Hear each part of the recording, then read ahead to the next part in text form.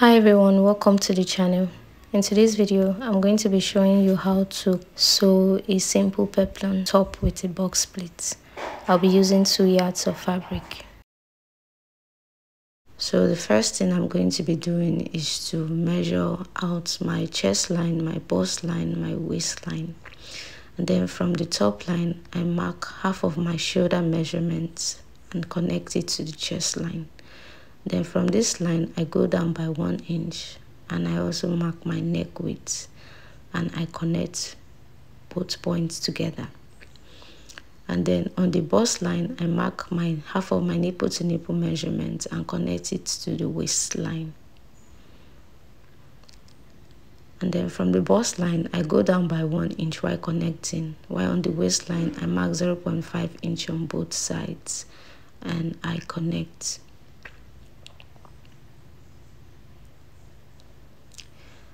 When we're done with this on the chest line, I mark quarter of my bust measurement, while on the waistline, I mark quarter of my waist measurement plus one inch for the darts. I connect it together. I'm also adding half one inch sewing allowance to this. And then on this line, I'll divide it by two and I'll go in by 0.5 inch and then I'll connect it using a French curve. For the back, I'm connecting it to the actual line then I'm going to be adding half an inch sewing allowance to the shoulder line. And from here I'll cut it out. Now I'm cutting out the back pattern. Then when you're done cutting you're going to remove it and I'll just trace out the lines for the back. For the back we will not be using a zipper so I'm going to be cutting out that point and I'm going to draw out my sewing allowance at the side seam. Then from here, I'm going to mark out my nipple to nipple measurement, half of my nipple to nipple measurement, and I'll connect it all the way to the chest line. But then I'm going down by one inch. Then I'll trace out my sewing allowance. And then from this point, I'm going to divide that line by two, and then I'll draw a straight line all the way to the chest line. And then from one inch below the chest line, I'm going to draw a line and then I will use a French curve to connect it. It's just me trying to create the beautiful design that we have at the back. Then after doing this, I cut it out. I'm also going to be removing the darts because I don't want to add darts to the back. And then I close it like this.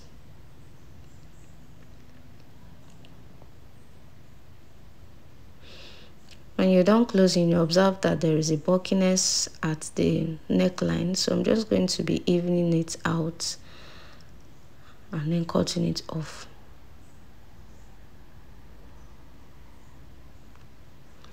Then that'll be all for the back. While for the front, we'll be adding a zip to the front. So I'm going to be leaving that zipper allowance in front. And then because of the bust darts that we are adding to these bodice, I'll be adding, I'll be extending the waistline of this bodice. So I want to add one inch bust dart to this. So I'm extending the waistline by one inch.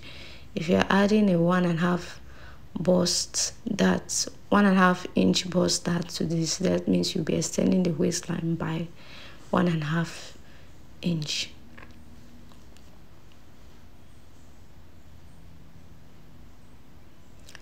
So after extending the line, I'm going to be marking out half of my nipple to nipple measurements on the new waistline that we have and I'll be connecting it to draw the dart on the new waistline. And then on this point, from that chest line, I'm going down by 2.75 inch, while on from the half of the nipple to nipple measurements, I'm marking 1.5 inch away from it and then I'm connecting it all the way to the 2.75 inch that we marked. And then on this point, I'm going to be marking 0.5 inch on both sides to make the one inch darts that we want to create. Then after connecting, I'm also going to extend it all the way to the sewing allowance that we have. Yeah i'm just trying to um, shape the waistline of the front. You, this is completely optional. If you don't want to do this, you can leave it. I just don't want any excess in front, so I'm just cutting it off. Then from this point, I'm going to be marking out, drawing out my neckline. I'm using a scoop neckline for this, so I'm just using a French curve and connecting it all the way close to the chest line. You can use any neckline of your choice. And then from here, you observe that the shoulder line of the front is not equal with that of the back. But I'm going to be showing you how you can adjust that using the rope at the back. So now the first thing I'm going to be doing is to be cutting the full circle of this peplum first before we cut the body's pattern. So I have my fabric on fold and the width of it is 35 inches while the length of it on fold is 17.5 inches. So I'm going to fold it further into four pieces and then from here the width and length of it should be 17.5 inches. That is forming a square. So from this point, I'm going to divide my waist measurement by 6 and I'll be timesing it by 2. So my waist measurement is 24 divided by 6 is 4 inches. Times 2 that is 4 inches times 2 is 8 inches. So I'm marking 8 inches all around and then the length of the peplum that I want to use is 8.5 inches so 8.5 inches plus 8 inches, we have about 16.5 inches. Then I'm also adding 1 inch sewing allowance to it and I'll mark 17.5 inches at the down part of this peplum. So I'm going to be marking 17.5 inches all round.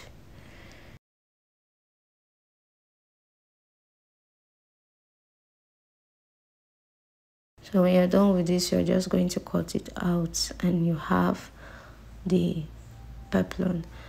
Take note that I times my waist measurement by 2 because of the box pleats that we intend on creating. Remember to notch the necessary points by the time you're done. I'm going to be using this as a guide when I am doing the box pleats. When you're done notching the necessary points, you're going to place it on the lining and you cut exactly what we have here. Then after cutting on the lining, we're going to open it up like this and we're going to be cutting one side opened. That part that we are cutting open will be attaching the zipper to. So I've also gone ahead to cut the bodice on the fabric and I've also cut out the lining as well. At this point, I've also gone ahead to add interfacing to the front you can add it to the back or to the lining, just depends on what you prefer.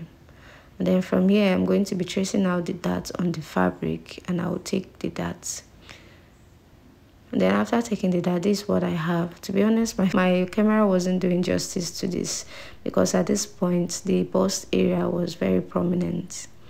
And then I've also done the same thing for the lining as well. Then after this, we are going to be placing the fabric to the lining and we are going to be sewing on the neckline using half an inch sewing allowance. And then I'm also going to do the same thing for the back. I'll place the lining to the fabric and to the main fabric and I'll be sewing half an inch sewing allowance all around and then when you're done sewing and notching and top stitching it you're going to turn it to the wrong side like so and you're going to sew closing that zipper point at this point i've also gone ahead to cut out two pieces that I'll be using for the design at the back. The width of this is 4 to 5 inches while the length of it is dependent on your body size. So by the time you place this piece on the fabric, the shoulder line should be equal to your actual shoulder line and the length of it should be long enough to reach the other end. So you take it to the sewing machine and you're going to be sewing. I sewed the down part to be about one inch wide, while the shoulder line should be equal to my shoulder measurements. So now I'm going to be placing it like so and I'm going to be sewing on it. Then after sewing on the shoulder and on the down part, this is what I have. so after doing this i'm going to be placing the front on it like this and i'm going to be sewing on the shoulder and on the side seam. Then after join, joining it this is what i have. So at this point i'm just reducing the waistline of the back because i observed it was longer than that of the front. It's completely optional. If you don't want to do this you can leave it as it is so at this point i've also gone ahead to cut out the sleeve for this top. I'm using a cap sleeve for this. And to get a cap sleeve just measure use your normal basic block and measure from from the crown to anything above the crown depth. So the length of this is about 3 inches plus 0.5 inch sewing allowance at the top and at the down part. So after cutting it i'm going to be lining it and i'll attach it to the sleeve and then after attaching it to the sleeve you're going to hem the remaining part of the armhole that is not covered with the sleeve. After attaching the sleeve to the top i'm going to be pinning down the zipper line like so. And then at this point in order to attach the peplum to this top i'm going to be adding the box pleat to the center front. I'll add two to the darts that is you know three. I'm adding two also at the side seam that is five. And then i'll add one to the center back that is six. Then i'll be adding two to the points in between the center back and the side back. So in all i'm adding box pleat to eight points on this top. So at this point i'm done joining the lining to the fabric and I've also joined it at the zipper line. And then now what I'm doing is I'm using the tape rule to measure around it. Take note that I folded this fabric in two. So after measuring I got 27 inches. So 27 times 2 is 54 inches. So I'm going to be minusing 2 inches for the zipper allowance from the 54 that is 52 inches. And then from this 52 inches I will minus my waist measurement from it that is 24 that is 52 minus 24 is 28 inches. So i'm going to be dividing 28 inches by the number of pleats that i'm going to be having for this peplum. So since we're having eight points that will be adding the pleat to and remember a box pleat is all about having two pleats facing each other. So that means from the eight points times two that is 16 inches. So that means that is 16 so that means we're having 16 pleats all together. So 28 divided by 16 so that is 1.75 so that means this the length of each pleat will be 1.75 so now what i'm going to do is i'm going to place this full circle on the, the top like this and I'm going to be aligning the middle of the full circle to the middle of the top and also the zipper side to the zipper side as well.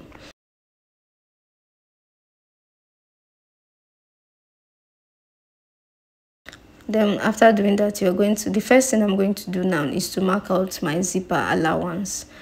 And then after marking out the zipper allowance, I'm going to be marking 1.75 inches on that from that point and then I'll pleat it facing the zipper allowance. And how we are pleating it is we are graphing the point in between the 1.75 and the zipper allowance. And then we are taking the 1.75 point inward while we are bringing that one outside.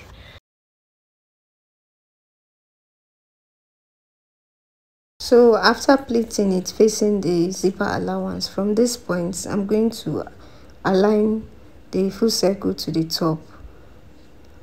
Then from the point where the dart is i'm going to mark it on the full circle. So from that that point i'm going to mark 1.75 inches as well.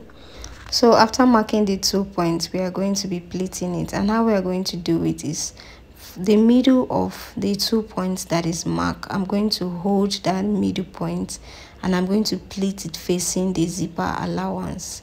While the point that is below will be pleated facing the darts and then from this from here i'm going to mark another 1.75 inch. And then i'm going to pleat it from the middle. I'm going to grab the middle and i'll pleat it facing towards the center front while the part that is marked will be pleated facing the darts i don't know if what i'm saying makes sense but I'm going to be repeating this process over and over again and I believe that you would understand what I'm doing eventually. So I'm still going to repeat the same process. So from this point I'm going to mark the point where I want the dart to be. So now I'm doing the side seam. So from that point I'm going to mark 1.75 inch so from the middle of these two points I'm going to grab it and I'll be pleating the middle facing towards the zipper allowance. Then after you pin it down and then you mark 1.75 inch again from that point. And then you grab the middle and then you pleat the points that we marked facing the side seam so when you are doing this you are making sure that the two points that are facing each other is aligned aligning to the side seam so if you are doing the correct thing you observe that the distance from one pleat is similar to the other. So i'm still going to repeat the same process. Now i'm doing the back side where the dart was supposed to be but we didn't add any dart so i'm doing that point now. So i've marked out the point where i want the the pleat to be. So from that point i'm going to mark 1.75 inch. And then this 1.75 inch i'm going to grab the middle of it. And then i'll pleat it facing the zipper side then after pleating i'll pin it down. And then from this point i'm going to mark another 1.75 inch. And then i'll pleat from the middle. I'm going to pleat the point the 1.75 points inward. And then i'll pin it down. So what we are having now is the first 1.75 that we marked will be on top while the second 1.75 inch that we mark will be below it so i'm just repeating the same process from the point where i want the the pleat to be. I'm going to mark 1.75 and then i'll pleat from the middle. I'm going to pleat it facing the zipper side.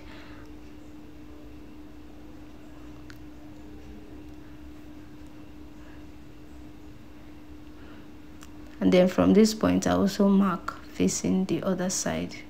So i'm just repeating the same process and also the middle of the full circle that we knot will be at the center back of the top.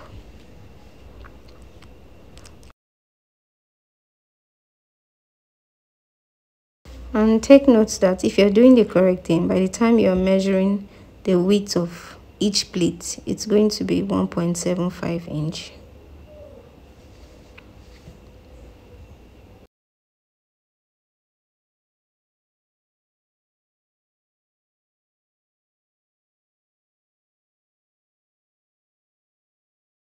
and also there will be no excess when you are done pleating or even though there will be excess it will be very little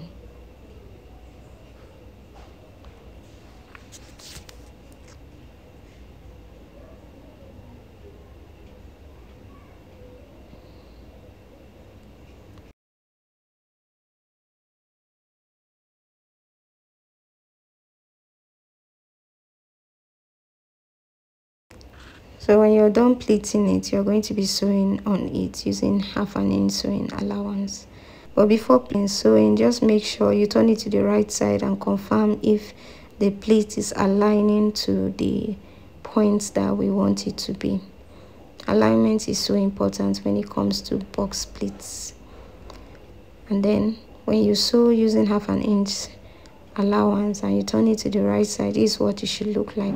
So all we have to do now is to add our zip to this top.